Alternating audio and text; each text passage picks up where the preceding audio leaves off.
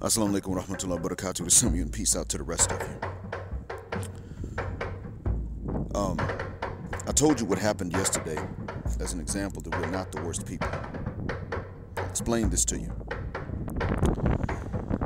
When I said that we were not the worst and I gave you the example that I gave you, the, the events that are going on, um, I was doing this to show you that a group of people who have free access to education uh, will turn out students that will do anything and tell any lie and work at any level of industry to avoid working for the grades. Their ways of cheating and beating the system supersede the, the, I mean the effort that they have to make to beat the system and to cheat supersedes the effort that they would have to undertake to study and learn. Yet they'll do it. Now this is when education is free. They don't have to pay for it. We have to pay for any worthwhile education in the United States. You have to pay dearly, and they don't educate; they just eliminate. You pay, they pay. You pay the school. The school pays the professor. The professor sits back, tells you do this, do that, do that, and then he you turn it in. And he sits up and says not good enough, hands it back to you, and says you still have enough until you do this right. It's just a process of elimination. There's nothing else to it. And so I recorded what I recorded yesterday so that you would understand that uh, you're not the worst. We would stop thinking this, we would stop saying this, we would stop repeating this, we would stop shaming each other with this. But there's one thing about which I would say uh, that things were better, and that is that where I am now, even though these are university students and a few of them are acting this way, I'm in an advanced class and most of the students don't act this way. As a matter of fact, after I recorded this and went to my afternoon class, told them that I had to change the attendance policy because of a complaint. Um, and they wanted to know who the student was that complained because they want to fight him. They straight told me the only reason the student complains is because they want the degree without doing any work. And you're actually teaching, you're doing your job. There's no other reason for a student to complain. You haven't done anything wrong. Yes, there are students in here who cheated, and that's why they're here. And you called them out, and they're mad now. They know that they're going to fail, so they want to get rid of you because when when the presentations come and they have to show and prove, they're going to fail, and you're going to fail them. And I was like, yes, that's right. That's exactly what's going to happen. Walaikum salam. I told them, that's right. That's exactly what's going to happen. Unless they learn enough between now and then to do it, and that's 15 days from now. So what they did was uh, uh, they decided that they were going to fist fight this kid, and they don't even know. I mean, I didn't tell them who it was, but they're going to be able to guess because the student outright admitted to somebody else in front of them, uh, in front of one of them, that he went to complain. And when that one student that heard the confession tells the other students, in uh, the same way he told me, it's over for the student that complained. They're going to beat the brakes off this kid. I think. So, this being said, um, one of the things they're definitely going to do is in the reports, they're going to go and they're going to explain to the administrator look, we know who this kid is that complaining he's lying. He can't say anything in English, even though this is an advanced class. He doesn't have the basics, and he doesn't want to fail, even though he doesn't know enough to pass. That's all it is. So, that being said, um, um, one of the things I wanted to point out was this. There are guys here that don't have dads. Their dads may have died when they were young. Um, there are those who, uh, uh, there are single mothers here. The fathers, you in many cases, the, uh, the fathers died. Things like car accidents. It's not usually something violent, but things like car accidents. Um, this is part of why it is that it's how the kids are conceived, even when the mothers become single mothers, that does make a bit of difference. And you can see that. That's one of the things in which we are worse off. Because a lot of the kids here uh, do come from single moms, but they're not children of fornication and therefore there is still a sense of morality in the community itself. And the kids may be wild at times, but there's a likelihood that they're going to outgrow this stuff as they get older. and they're going to outgrow it before certain things uh, happen. Now, there are going to be some consequences that are still, uh, yeah, there are going to be some consequences that, that still remain. I mean, if you steal in this country, you don't just go to prison. You go to prison, you get out with a prison record, and nobody gives you a job because you stole. Now, for other crimes, you go to uh, to jail, and you like fist fighting. You go to jail, you come out, you don't have a record. Stealing, you got a record. That's it.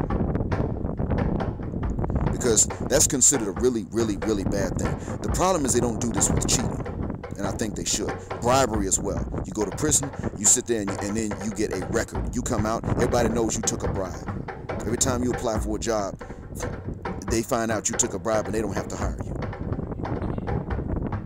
That should happen. If that was the case, a lot of cheating would go down. So, all this is going on, but because it's not a perfect society, there is none. But one of the things that does make it a bit better, a bit safer of a place to live in, is that even the single mothers here are not from fornication. And there's another thing too. If a, a marriage does not work out and they split, a woman can remarry. But many men would say, look, I don't even hate you. It's not that I hate your kids, but the kids are the right of the father. If you don't let your children go and live with their dad, then what's going to happen? Assalamu alaikum. What's going to happen if you and I marry? You decide you want to leave one day. You're going to take my kids too. You're not going to do it. So you've now let your kids live with their dad and they come visit us. That's the condition many and this is understood. Many men here are not against marrying single mothers, but that's usually in the case where the dad is also a single father. That's usually what that's when they understand that. They don't have an issue this is just expected, and people realize this. They don't have an issue. There is no pressure on a single man with no children to marry single mothers. He's considered a hero if he does it. They don't necessarily have a word for simp, but these, there's no pressure for that. They don't look around and say, we got all these kids and need dads. That's not the case. If the father dies, the uncles, the grandfathers, other adult uh, males in the family will pitch in for this kid, generally speaking. And it's usually on the father's side that they would step in. Sometimes on the mother's side. It could be a paternal or a maternal uncle that'll step in and they'll look after this kid. They say, look, he's going to spend this amount of time each month with me. You were good to my brother. You don't have to raise uh, my nephew by yourself. You were good to him while he was alive. That's just the way that is. Her brother, the mother's brother, may step in and say, yeah, he comes and stays with us for a while. Stays with us a certain length of time every month, and I'm to come in and visit. Or I'll, I'll come and stay with y'all for a certain length of time every month. What's the reason? Well, it's, it's real simple. My sister should not have to worry about her kid all the doggone time and I'm alive. But they do not have this thing where they go and they pressure guys that have never uh, had babies if they were married and they didn't have babies, there's no pressure on them. Let alone if they were never married, which more than likely means that they're virgins and never had babies. You get up here and you go and take this single mother, especially who fornicated to have this kid. But you, you've been a virgin all this time, couldn't get none if you tried it because of the way the law works here. But now here, you, you go marry this single mother and raise her baby like it's yours. And don't ask, what about my own kids? Because that's selfish. If the women here said something like this, the men would leave the country and just marry women from other countries. It's already happening for far less than that. For a hell of a lot less, these men are already saying, no, we're not marrying, uh, we're not going to spend 50 grand to marry. A lot of these men are saying, I can look, I can stay single till I'm 30. Then the government will easily give me permission to go abroad, marry, and that's what I'm gonna do. Because I'm not gonna sit up here. I'd rather do that, wait till 30 to get married, be a 29 year old virgin, than to sit up here and, and marry you and all you're to do is sit up here and demand a hell of a lot of stuff. Or your parents will. If you don't make the heavy demands and you're a good woman, your parents will step in and raise them just to be expensive on me in the name of some arbitrary concept called family honor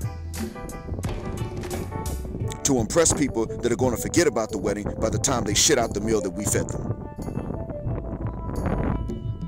Just so that people don't talk about us. I gotta go in a mountain of debt, starting off a family like that. No, F that. I can go next door to Egypt and marry for far less, bring her here. Oh, and then when their sisters say, I don't want an Egyptian sister in law, these Gulf cats will say, Well, to hell with what you want, I'm the one that's got to get married. You don't want her, then don't come see her. I'll come back to the house and see y'all.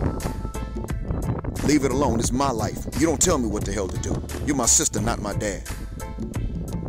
And these are men who love their sisters, but this is how they'll talk to them. They love their sisters. They will listen to a legitimate concern, but this there's a limit. This is not one of them. You got guys 33 and ain't married because it's expensive. You know what's stopping them? They just don't have the money to get out of the country in the first place. That's all. Once they get that kind of money, they out, they gone. They gonna marry somebody from outside the country. That's what's gonna happen. And sometimes these Gulf ladies, they start getting older. They reach 29, they realize they ain't gonna get married because it's too expensive. So then they start saying, you know what, I'll marry a non-Gulf Arab man from a poor country because I need a husband. And they do it. And, they may and they're ashamed to do it, but they still do it because it's even worse if they have no husband, and a lot of women don't have one. But there is no pressure to sit up here and take on the responsibility of another man for yourself and let that man off scot free. No pressure like that exists here. That is one thing that is better about here than back there. So, now that I've given you this information, I hope that it helps out. Now, if you heard the last thing I said, where I repeated the message that we're not the worst in the world. Stop tripping and uh, go ahead and hit the share button and send it to somebody else. Alaikum. Because I've already seen that it hasn't gotten many views. I don't care about the likes. I want the views. This needs to spread. Hurry up. Thanks a million. Assalamu alaikum.